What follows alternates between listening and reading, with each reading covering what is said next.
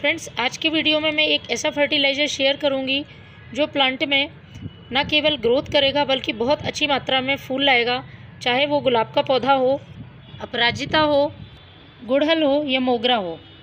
सभी फूलों वाले पौधों के लिए बहुत ही फ़ायदेमंद फर्टिलाइज़र है। बहुत आसानी से तैयार हो जाता है। बिल्कुल फ्री का फर्टिलाइज़र है। दो चीज़ों को मिलाकर मैंने ये फर्टिलाइज़र बनाया है। यदि इस फर्टिलाइज़र की फ़ायदे के बारे में बात करें तो ये नाइट्रोजन पोटेशियम फॉस्फोरस से भरपूर है। इसके साथ ही प्लांट को कई माइक्रो माइक्रो न्यूट्रिएंट्स इस फर्टिलाइज़र से मिल जाएँगे और प्लांट बहुत अच्छी ग्रोथ करेगा। अभी इस समय प्लांट्स बहुत अच्छी ग्रोथ कर रहे हैं तो प्लांट को ज़रूरी पोषक तत्व फर्टिलाइज़र के रूप में देने होते हैं। क्योंकि हम छोटे छोटे पॉट में ये प्लांट्स लगाए होते हैं तो मिट्टी में इतने पोषक तत्व नहीं होते हैं कि पर्याप्त मात्रा में प्लांट ग्रोथ कर सके और फूल फल दे सके। इसलिए हमें समय समय पर उसमें फर्टिलाइज़र का यूज़ करना होता है। लेकिन यदि फर्टिलाइज़र ऑर्गेनिक हो तो ये प्लांट पे बहुत अच्छा और लंबे समय तक इफ़ेक्ट दिखाते हैं। तो जो मैं फर्टिलाइज़र बताऊँगी, उससे प्लांट की मिट्टी का पीएच भी बैलेंस रहेगा और सॉयल उपजाऊ बनी रहेगी। पौधे बहुत तेज़ी से नई ग्रोथ करेंगे।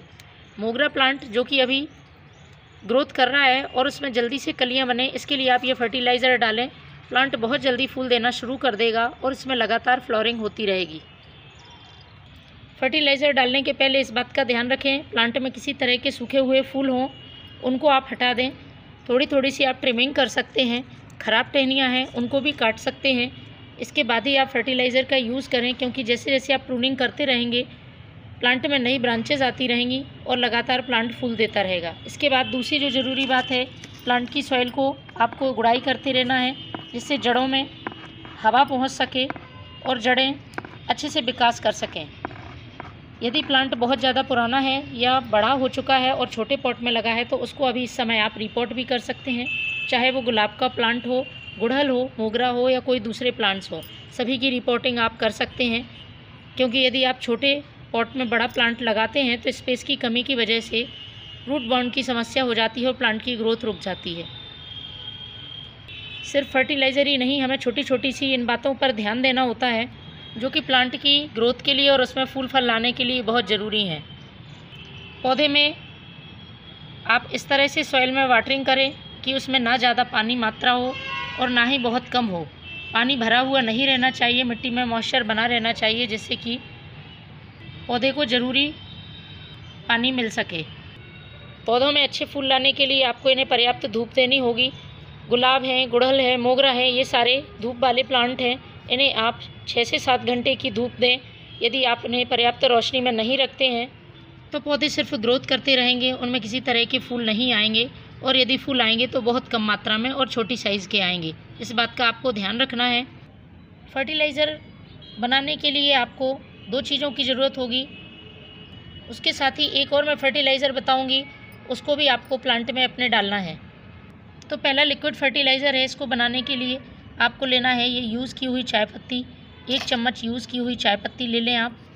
चाय पत्ती में अच्छी मात्रा में नाइट्रोजन होता है। इसके साथ ही प्लांट की सॉइल को एसिडिक करने का काम करती है। दूसरी जो ज़रूरी चीज़ है, वो है ये प्याज के छिलके। एक मुट्ठी आपको प्याज के छिलके ले लेना है।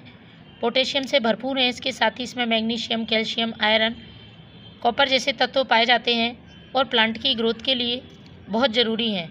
इसके साथ ही इसमें जो पोटेशियम होता है प्लांट की इम्यूनिटी को बूस्ट करता है और प्लांट में कलियाँ बनाने में मदद करता है, जड़ों का विकास करता है। तो एक मुट्ठी आप ये प्याज के छिलके ले लें। इसको आपको अच्छी तरह से पानी से भर देना है और इसको ढककर आपको एक दिन के लिए रखना है। एक दिन बाद आपको कुछ इस तरह से फर्टिलाइज़र मिलेगा। इसको आपको अच्छी तरह से मिक्स करके छान लेना है। तो मैं इसे छानूँगी। बहुत ही पावरफुल फर्टिलाइज़र है और बहुत आसानी से घर में उपलब्ध चीज़ों से ये बन जाता है। सभी प्लांट के लिए यूज़फुल है। आप सभी प्लांट्स पर इसका यूज़ कर सकते हैं। तो इस फर्टिलाइज़र को आप अपने प्लांट की सॉइल में पॉट की साइज़ के हिसाब से डालना है। जो दूसरा फर्टिलाइज़र है, वो फर्टिलाइज़र बर्मी कंपोस्ट है। सभी प्लांट्स में आप मिट्टी की गुड़ाई करके एक एक मुट्ठी बर्मी कंपोस्ट डाल दें। बर्मी कंपोस्ट सभी मैक्रो माइक्रो न्यूट्रिएंट से भरपूर होता है। वो प्लांट के संपूर्ण विकास के लिए ज़रूरी है। तो ये दोनों फर्टिलाइज़र आप अपने प्लांट्स में महीने में एक बार डालें। आप देखेंगे आपका प्लांट पूरी गर्मियों फूल देगा और उसमें लगातार ग्रोथ भी होती रहेगी। Thank you